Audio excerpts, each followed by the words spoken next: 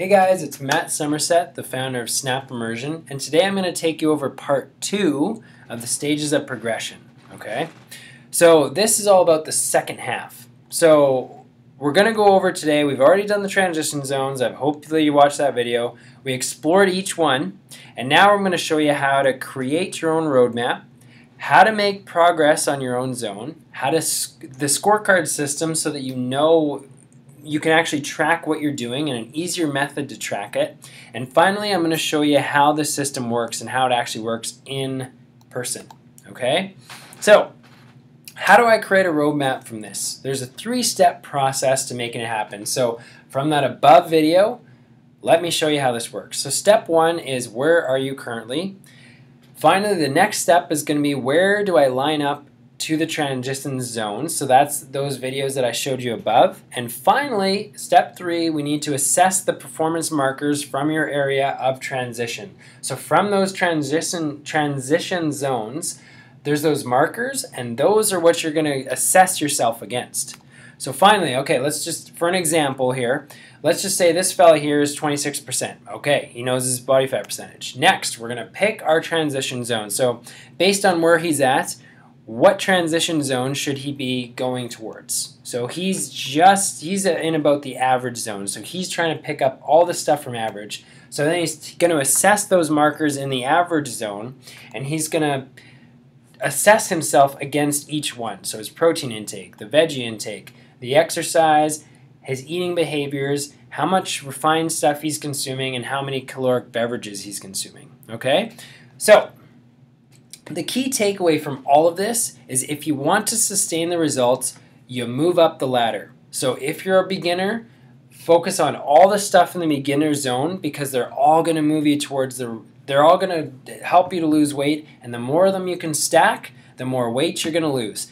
As soon as you fill that section right up, you move on to the next section. And that way what happens is You've mastered everything, and now moving on is super simple. You just add stuff in. You add a little bit of this, take a little bit of this, and it's done. Okay, it makes life so much simpler, and I've been using this for years. So, for an example, let's say we've got our results. So we've got step one. Susie here is 35% body fat. Okay, next she's going to choose her transition zone. So, since she's over 32% body fat, she's starting as the eternal beginner. Okay, and next we're going to assess her performance markers. So let me give you a real life example. Susie is anonymous, but we're calling her Susie. and I'll show you a real life example of how this works. So I'm sitting across from her, just imagine this, and this is what I'm listening for. So I know those, those little performance markers, and I'm listening for each one now. So I'm getting her to talk about foods here, and she's telling me that yes, I know I shouldn't be eating the stuff I'm eating, but you know, I'm going out on, on the weekends and stuff. My kids have hockey. Um, my husband wants to go out, whatever, and yes, I get a sub in there. You know, I'm going to Subway. I'm trying to eat healthy, so I'm picking out. Okay, well, the sub is definitely processed. It's more white flour and all that kind of stuff. She has like you know like a movie night or some kind of fun activity with the kids where she has like maybe there's pizza involved or some other like tacos or something like that, where you're consuming um, foods that you normally wouldn't, but you know are processed stuff. And finally, of course, you got birthdays and other special occasions where cake makes an appearance, you know, and you're just trying to make something special for them. So in her life, that's exactly what was going on. Okay, so there we go. We're kind of picking it out. Next, protein. It was mostly consumed at lunch a little bit, and at dinner was was usually like some chicken breast or steak or something like that. Not much fish. She wasn't really into fish too much. Um, but most of her protein came from dinner time. Okay, so she had a solid protein at dinner time and maybe a little bit at breakfast. Finally, her exercise. Um, she came to the gym to do cardio. wasn't really into weights. Um, she was fairly active. You know, she had a walking job. You know, most of the day, but most of the time her heart rate wasn't really elevated. Um, she was looking to exercise five days a week. So using the gym, coming in, she was going to exercise five days a week. So right on. Okay, we've got some um, something to move on, move forward from. So okay, next caloric beverages was big. So in her coffee, she would have sugar and milk. There's some extra calories there. Okay. Also on weekends and during the or sorry on the weekdays she'd enjoy some wine, one or two to three glasses sometimes.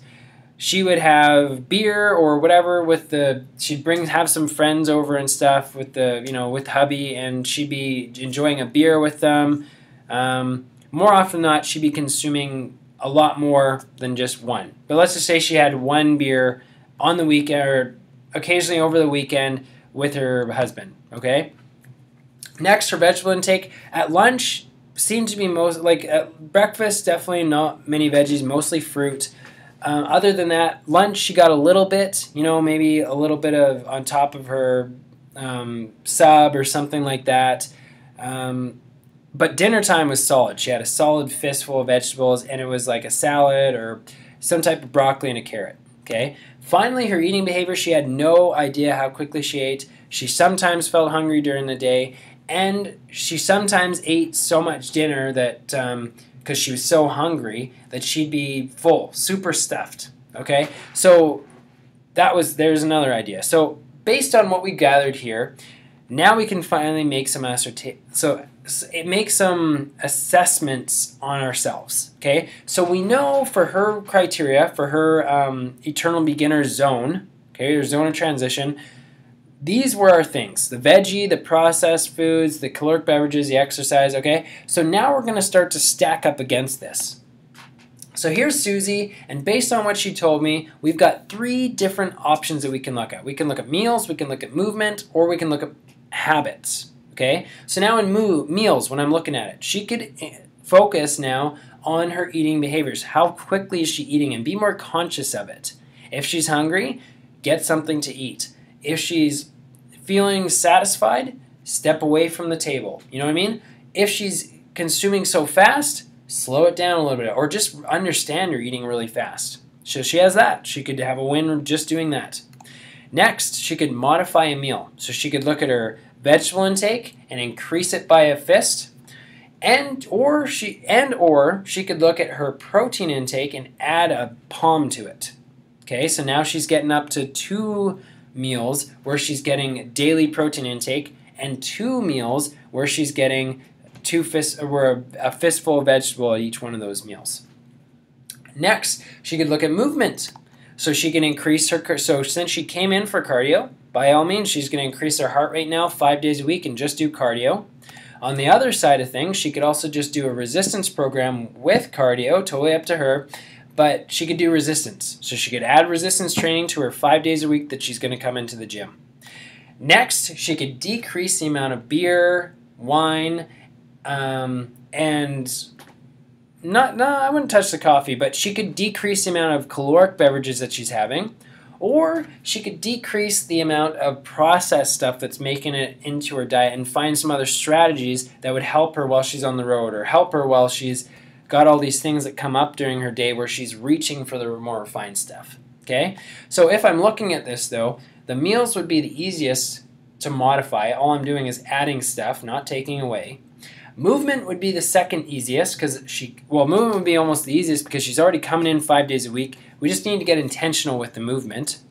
The toughest part would be to deal with the behavior stuff, to deal with the the two, the wine and the beer and the the coffee and the milk and all that and the refined stuff. So all she's going to do is pick one to two tasks because all of these tasks that she has in front of her right now would help her to lose her body fat, would get her moving in the right direction. And all she's trying to do is make it consistent, which is the key word here. Consistency is going to make all the difference for her. So let me show you what we've done so far. So now we're going to score this thing. So at this stage, we picked what were our two one to two tasks are, and we're at this stage where okay, now we need to we need to score them to make sure we're moving in the right way, and so we can troubleshoot them. So let me show you where we're at so far. Our outcome is our transition zone. So if we're over 35%, we're trying to hit 32% or whatever zone we're at. We're trying to hit within that zone. So now we've got our outcome. We know exactly where we're trying to go with things. Next, we've got our strategies. We got our performance markers. We know exactly what we need to be focusing on in order to get results. Am I doing them? Am I not? The whole key to this is the tactics of this. It's your behaviors and actions. So just because you have the strategies and you're looking at them and you know them, doesn't mean you're going to get the body that you want or doesn't mean you're going to get the outcome you want. But the cool thing is, as I focus on the tactics and then they're all aligned, I just need to do the behaviors, so those one to two tasks that I pick for my scorecard, and I know I'm going to get results. And what we're trying to do is take the stress out of this and make you more relaxed by just doing one to two things that you know are going to get you the result you want. So these tactics that you pull are now going to go into the scorecard. So let me show you how this works. One of the key things you got to remember is you're not getting closer to your goals because you're not being consistent. And this scorecard is exactly why we put it in place because it makes you now accountable so I don't have to be making you accountable. You are now accountable to yourself. So let me show you how to score this thing. So we've got our performance markers. So based on Susie, what she told me, two things that she decided, she went a little over and above, but she's going to go three days a week. She wants to do strength training. She thinks it's important to keep some muscle mass around while she's trying to lose some weight. As well, she chose that she's going to do a, a fistful of vegetables and a palm full of protein at one more meal. Okay, so that'll be a total of two meals. So what we're going to do is I'm going to show you just on her performance marker on the veggies and the protein, okay? So on the weekly score sheet here, you're going to see how this goes meal one to three or however meals you're going to have, but you're going to score them now. It's either a yes or a no. So I don't care now at this stage, we don't care what we consume. We care did I consume it? Did it have protein in it? Did it hit my goal? Okay, so our goal is to get a palmful of protein and a fistful of vegetables, and you're just going to grade it. So on Monday, yeah, at meal two she got her protein, and at meal three she got her protein and, and vegetables as well. So now what you're going to do is you're going to grade the whole entire week. Okay, so here's our whole entire week, and you're starting to see some patterns where sometimes she didn't hit no. And what we're doing now, so now I've got the week, is now I'm assessing it. So Susie here got 10 out of 14 times where she actually did get a protein and a fistful of vegetables at two meals, which gives us 70%. And we were trying to hit 80%. So now most people go, well, you know, it's good enough, or nah, I guess that's not a good strategy for me. I should look at changing it. Well, there's actually, this gives you a complete feedback tool because most people overestimate how many times they actually did do it they need it tracked in order to make sure they're getting exact, they actually know, okay? So what Susie might do is assess her situation now. So at the end of the week, she'd go and she'd look at each day of the week and go, oh, okay, so on Tuesday, I didn't hit my goal. On Thursday, I didn't hit my goal. And on the weekends, weird, because weekends I've got so much time. What the heck's going on? So she could assess it that way and go, what was going on in those week on those days of this week and what are some strategies I could use so I ensure that I'm actually hitting that minimum. She could do it that way or she can look at the meals and go, "Oh, look at this. Breakfast or meal 1, so as soon as I'm getting up or kind of close to that, I'm actually not getting much protein or vegetable in there." I wonder if that would be a good strategy just to bump up and try to get one more meal at that day or for my breakfast to make it into a meal that'll hit it so that I can hit my 80% um, compliance zone. And that's how she treats it. So now she can make smarter decisions based on that versus just trying to go, oh, okay, well, I'm not hitting it. What am I going to do? And kind of making sporadic decisions. She can start to go, okay, well, I can change my days of the week or I can change my meal and I can start to make smart decisions Uh, I can start to get feedback on how I can improve on this instead of going, well, I guess I don't hit it. Okay? So, what are your next steps? How do you actually apply this sucker? So first, you need to find out your body fat percentage, and it doesn't matter if it's correct. It just matters where are you now. Okay? You could also do it the other way. If you don't want to find out your body fat percentage, go to the transition zone number one and go, am I hitting these? If you're not, good chances are that you're over your whatever the 32% for the female and 25% for the male in body fat percentage. Okay. Next, you're going to match your body fat percentage with the transition zone that you found out. So that part one video, you're going to find out where you line up and you're going to pull all of those performance markers. So number three, you're going to find out where you're currently, what you're currently doing based on the performance markers that you pulled from your transition zone. Okay.